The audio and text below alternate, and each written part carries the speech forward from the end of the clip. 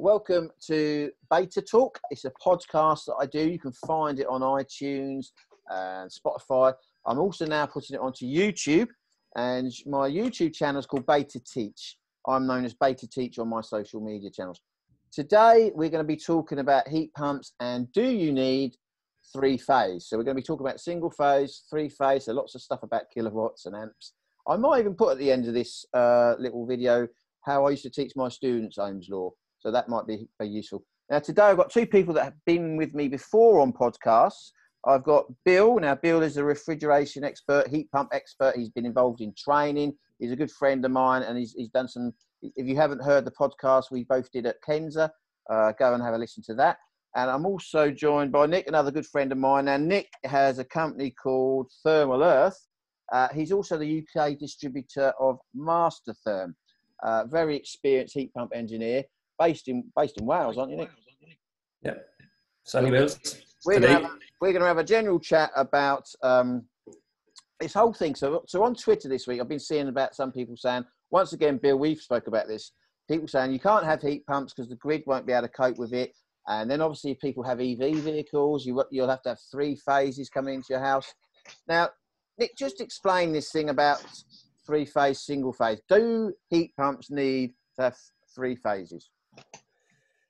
Short answer is no, they don't.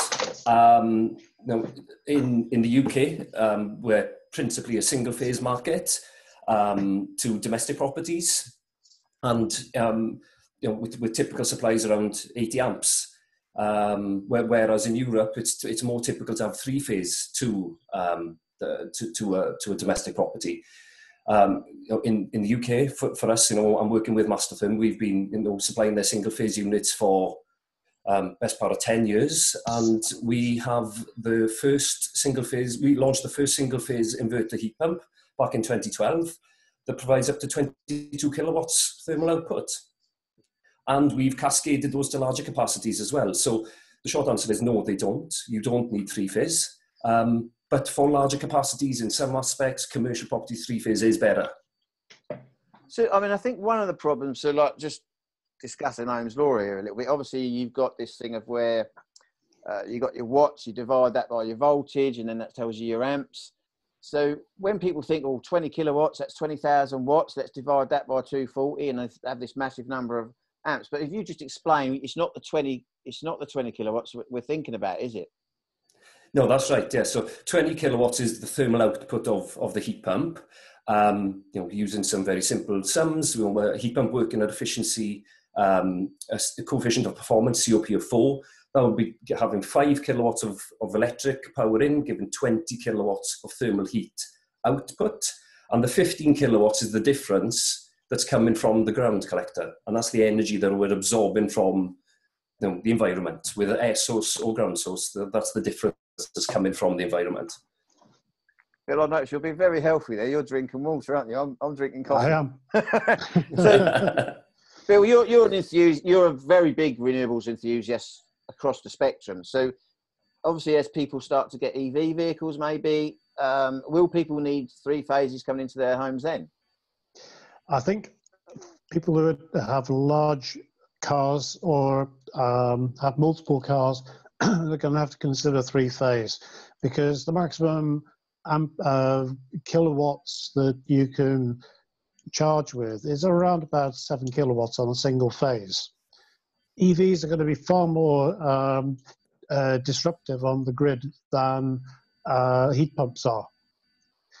But somebody in the ENA has decided that cars are a good thing and they're not going to be a problem, but heat pumps are. And I think that's mainly because they've got, uh, they don't know how heat pumps actually operate they they just see the, the, the, rating on the nameplate the the power consumption of the the rated power consumption of the unit, and they go on that, and they think that every time it switches on, that's what it comes on with, with all the backup heaters and everything all in one go. And the the way that they categorize the uh, the the devices is, I think, is wrong. They've lumped heat pumps in with the wrong category of equipment. They need to have a look at it again and put it in its own category.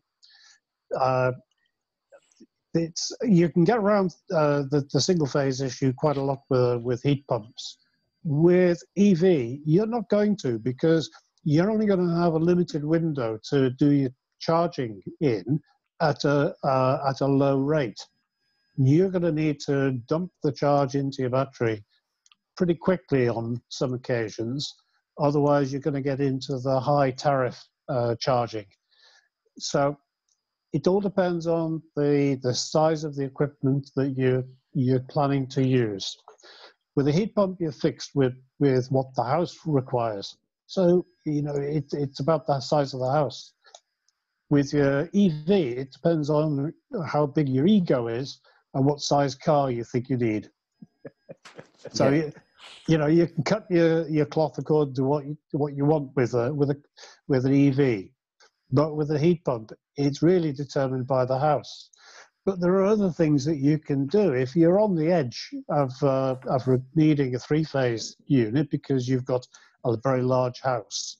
Then spend some extra money on the insulation and also on the, the distribution system because you can lower the operating temperature of your heat pump, you increase the output in kilowatts, but you reduce the, the, the kilowatt uh, consumption. So there are ways are, that you can design for the power supply that you've got. So if, let's say someone, they're not ever going to be bothered about having an electrical vehicle, electrical vehicle, but they want a heat pump. Are we saying then it's, you know, they don't really always need three phases? No, you can't hmm. say that they always need three phases. Hmm. It will depend on the the situation in majority of cases, the single phase will be will be fine. But I've I've recently found out that the the um, the DNOs are concerned about the the effect of flicker on the the grid. Flicker is the effect that you get when the lights dim, when something switches on. What they're concerned about is something that's going to switch rapidly, uh, rapidly to what we would imagine. What they, they think that is that the, the backup heater will be switching on and off in the same way that an iron switches on and off. And we know that they don't. In most cases, the backup heater isn't working at all. It's only used for extraordinary circumstances. And that's something that they have to understand. But the, uh, the compressor starting load is not a problem anymore because with inverters, driving the compressors, starting loads are very low. Harmonics then become the problem that they're concerned about uh, high harmonic uh, currents.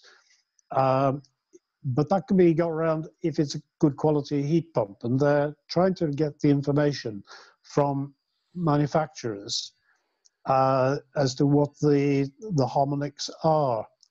That's a difficult one to measure it's a very difficult one to measure because nobody's done it before. The do only testing houses that? are in Europe.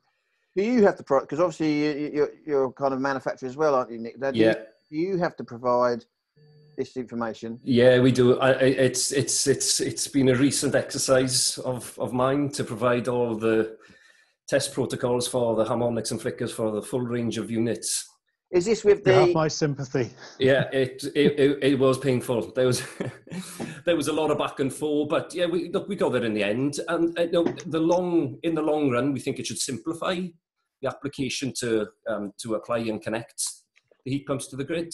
Um, but yeah, uh, at the early days over the last few weeks months, it's been it's been you know difficult to get information back and forth, and also you know being importers you know the, the the the level of information that we tend to ask for in the UK is above and over what is, expected elsewhere in um, in Europe, and it specifically as well because we're principally a single phase market, whereas with three phase market in Europe, it's the, the same information doesn't isn't normally required. Um, uh, back, back to an earlier point that you mentioned, Bill, with regard to EVs and, and heat pumps, you know, they're a totally different category, category of product. And, you know, with, with EVs, um, it depends whether you want to charge them, are you able to charge them slow overnight or whether you want a, a fast charger. Now, if you want anything over seven kilowatts, you typically do need a three phase supply and you want to charge your car as quickly as possible, you know, when the electric is cheap. Um, but with a heat pump system, you know, we're typically, you know, a typical system in, in the UK might be on average somewhere around 10 kilowatts. You know, a ground source working well, COP of four, that is taking 2.5 kilowatts of electrical energy to run that at peak. And peak is is by design when it's cold outside, when you know by design by minus three. So it's only at that time that it'll be running at that peak electrical input of 2.5 kilowatts. As the seasons are milder, the, the consumption is much, much lower through the, the, the, the, the hours of the day. And we, you mentioned backup heaters as well. How many homes, domestic UK um, homes, have um, electric power showers? And they are on average nine kilowatts plus. And we're talking about a heat pump that's running a compressor at peak with 2.5 kilowatts of electric going in, 10 kilowatts of thermal energy coming out to heat the home when it's minus three outside. You know, the whole um, scenario is totally different. And yeah, we, we do find, or at least we think the, the limit, you know, the expectations of what, um, uh, how, how they think that the heat pumps are going to affect the grid. I don't, I don't think it's as, as bad as, as, as everybody sees. No, they're not going on evidence. They're just relying, just just looking at them on mm. the uh, just the rating, and mm. making assumptions rather than looking yeah. at them uh, in operation. They're not yeah. trying to. There's there's no attempt to uh, they gain experience of heat pumps operating. They're merely going on theory. Yeah, uh, I will say, you know, back in the um, 2005 2006, where there wasn't inverter heat pumps and they were fixed outputs and there was some heat pumps being installed without soft starts, you would see significant flicker, um, you know, with um, uh, locked rotor current of, you know, maybe a flicker of, you know, 80 or 90 amps just to get the compressor started. But then we started using soft starts, which brought the starting current down to about 30 amps. And now we use BLDC um, rotary compressors, brushless DC compressors, there's no inertia, there is no starting current effectively. It just ramps from zero up to its operating current. So we see no flicker at all. What they do, what they do do is um, they do they put um, harmonics onto yeah, the, yeah, the, the yeah. supply. And apparently, it's not the, the quality uh, inverters that are the problem it's the poor quality. I know there's a couple of makes that I've I've uh, I've seen some test results of, and it's not when they're on full power. It's when they're on minimum power that you get the worst harmonics. Now the harmonics are occurring at multiple frequencies. It's not just at the standard mains frequency of 50 hertz, as you you'll probably be aware of this now, uh, Nick, after going mm-hmm. through the, yes. the process yourself. And it's somewhere around about the 40th harmonic, so it's a much higher frequency that they're seeing some spikes. They're very brief, but they're very, but they're a very sharp spike, which can be three or four times uh, higher current than the uh, the expected current. What concerns them is is that if you get multiple heat pumps in uh, very multiple houses, so they're all connected on the same local grid, and they all happen to just run at the same frequency just for a moment, and the harmonics join join up, and that's the problem that they have. They are they they claim to have seen. I, I think it's something that in it's historical, and and it is possible, which really comes down to them saying, well, all heat pumps all, all not just heat pumps, but it, it, applies to anything with a motor, has to be to a certain standard. The the filters, and that's, that's all it needs is the correct filter put onto the device. They should be filtered to the correct level. But they're not saying that. They're just, just looking for test up, results. Yeah. I just want to pick up on something, Bill, that we, we mentioned earlier. You mentioned the ENA, uh, which is an acronym, as we know, for the Energy um, I'm going to forget it now. Networks Association. Energy Networks Association. Yeah. So this I remember their logo from yeah, very well in recent times. so these now you have to, as a manufacturer or distribution, you have to be um, a bit like MCS will, will test your products. They do it as well. I just, well, I just want to say that the Energy Networks Association has members from the gas networks and the electricity networks, doesn't it? which which always um, yes, it's it's about the energy distribution. which is always a bit of a because obviously as we know there's a lot of people message me and say look it seems nathan that we've got h2 arg- you know hydrogen arguing which is networks running down i guess the networks arguing against the people that want heat pumps. And yet they're all kind of the same part of this one association aren't they? And it's it's all a bit complex. It annoys me it frustrates me because we're not talking about enough about solar thermal. And I think you and I will do one because your your your companies do solar thermal that are, that are linked up to your heat pump systems, don't you, Nick? Which I think then is brilliant. Yeah, yeah, absolutely. Yeah. So we've integrated solar thermal, di- direct solar thermal with, with the ground loop. And, you know, effectively in the winter, we're taking the energy out of the ground. And in the summer, then we're recharging energy back into the ground. And that has a myriad of benefits for the effic- overall eff- That to me efficiency. is the only way to do it. It's Yeah, uh, yeah. uh, Yeah. Yeah, You can- Otherwise, if you if you're just using it for heating, I think you're better to use a PV and run Mm. the heat pump for the Yeah. hot water. But as soon as you use the the, the cooling effect of the, the the ground to provide you with that cooling in the summer, which gives you that extra boost of heating, mm. reheating the ground during the summer, Yeah. then it's a no-brainer, and that's a really good idea. Yeah, yeah, and you know the as with any heat pump system, the higher the incoming temperature, the more efficient it is. So if you put an energy back into the ground, you can store the you can make the ground warmer than it was to start with. So when by the time you get back into the next heating season, your overall efficiency is much much higher. Separately, you know, by design, we can actually design ground loops a little bit smaller because we're putting energy back in ground in the ground, which will make the overall system cost initial cost cheaper because you don't have to have such a big ground array because you're recharging the ground as well. Now, There's also a lot of talk at the moment, especially in CIBSE and people like that, about overheating of houses Yeah. with the, the insulation levels and and the ridiculous way that people run high temperature heating. Uh, they're experiencing uh, overheating, and it's it, which is a control issue.